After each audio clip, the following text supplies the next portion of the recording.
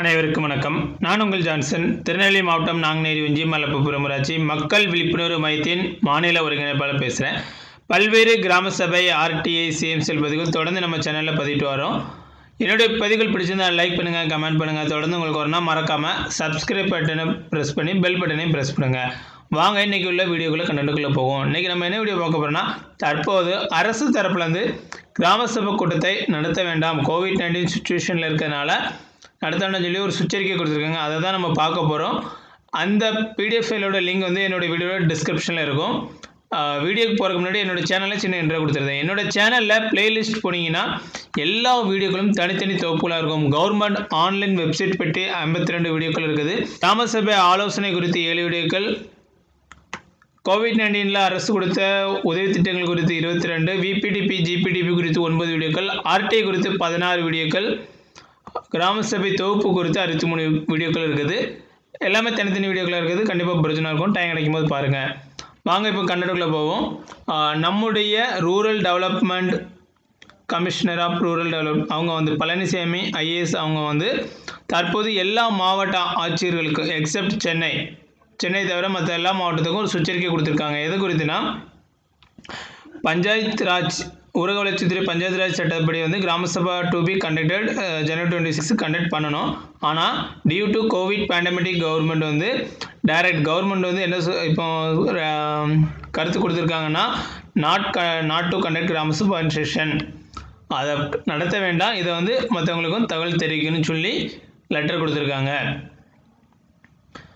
இதில் I invite your கன் அண்ட் எல்லாருக்கும் வந்து தகவல் அவங்க வந்து கவனத்துக்கு கொண்டு போகிறாங்க த கவர்மெண்ட் ஒயிட் தேட் அதில் பார்வையில் மூணாவது கட்டப்பட்ட கடிதத்தின் விலை சுச்சரிக்கை வந்து grama sabha need not to be conducted கண்டிப்பாக நடத்தணும்னு சொல்லலை நடத்த தேவை இல்லை ப்ரிவேலிங் கோவிட் நைன்டீன் சுச்சுவேஷன் இந்த ஸ்டேட் தமிழ்நாட்டில் இன்னும் கோவிட் நைன்டீன் வந்து இருக்கிறதுனால நடத்த வேண்டாம் அப்படின்னு சொல்லிட்டாங்க.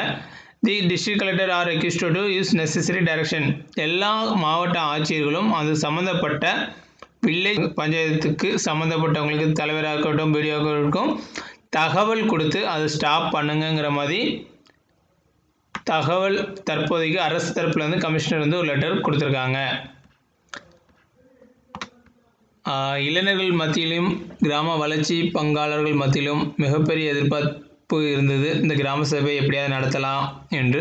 ஏனென்றால் அடுத்தது மே ஒன்று வந்து நமக்கு வந்து தேர்தல் வர இருக்கின்ற காரணத்தினால் கண்டிப்பாக அப்பவும் எலெக்ஷன் இருக்கிறனால கிராம சபையை ஒத்தி தான் வைப்பாங்க.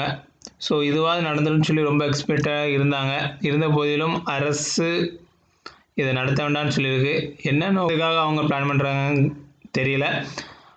ஆனாலும் இன்று கிராமங்களில் கூட போடுறது மேக்ஸிமம் எதா நூற்றுக்கும் மேற்பட்ட நபர்கள் கூடுவாங்க.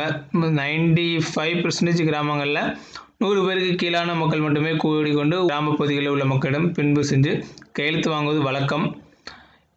இப்படிப்பட்ட சூழ்நிலையில் கிராம இளைஞர்கள் பங்கேற்று நல்ல திட்டங்களை வளர்ச்சி திட்டங்களை தொடர்ந்து கிராம செயல் தீர்மானமாக வைக்க முயற்சி செய்து கொண்டிருந்த கடைசி நான்கு கூட்டங்களில் இப்போ வந்து மீண்டும் மீண்டும் தடையாக கொடுக்கறது இளைஞர்கள் மத்தியில் ஒரு பின்வா அங்கே உருவாக்குறது. பொறுத்திருப்போம். இருந்தாலும் காலங்கள் இப்படி ஒரு சுச்சுவேஷன் போனாலும் மறுபடியும் இளைஞர்கள் வந்து பங்கேற்கக்கூடிய சூழ்நிலை வரும்.